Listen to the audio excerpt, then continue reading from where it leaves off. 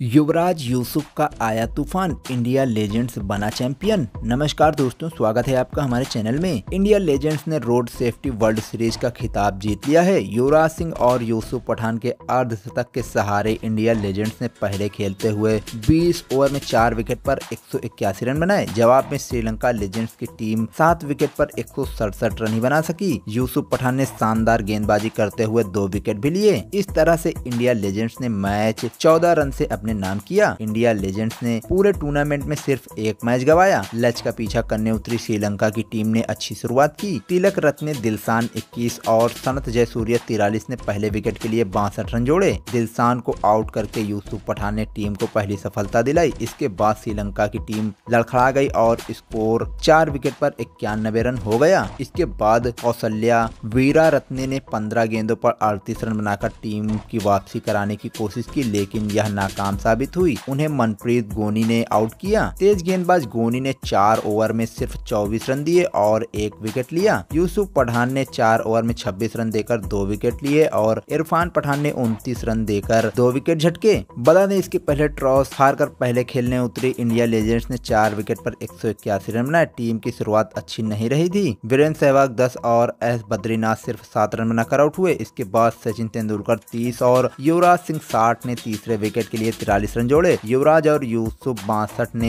चौथे विकेट के लिए पचासी रन जोड़े। चौथे नंबर पर बल्लेबाजी करने उतरे युवराज ने 40 गेंदों में चार चौके और चार छक्कों की मदद से 60 रनों की पारी खेली। पांचवे नंबर पर बल्लेबाजी करने उतरे यूसुफ पठान ने युवराज सिंह का अच्छा साथ निभाया। पठान ने सिर्फ़ चौबीस गेंदों में तीन चौके और पाँच छक्के की मदद से पचास जड़ा। उन्होंने छत्तीस गेंदों पर बासठ रन बनाए। दोस्तों, फ़िलहाल के लिए इस वीडियो में बस इतना ही। आप भी इंडिया लेजेंड्स की इस जीत पर अपनी राय कमेंट कर हमें ज़रूर बताइएगा। ज़्यादा जानकारी जानकारी और क्रिकेट की अन्य तमाम खबरों के लिए चैनल को सब्सक्राइब करें। अगर आपको हमारा यह वीडियो पसंद आया हो तो इसे लाइक और शेयर ज़रूर करें। धन्यवाद।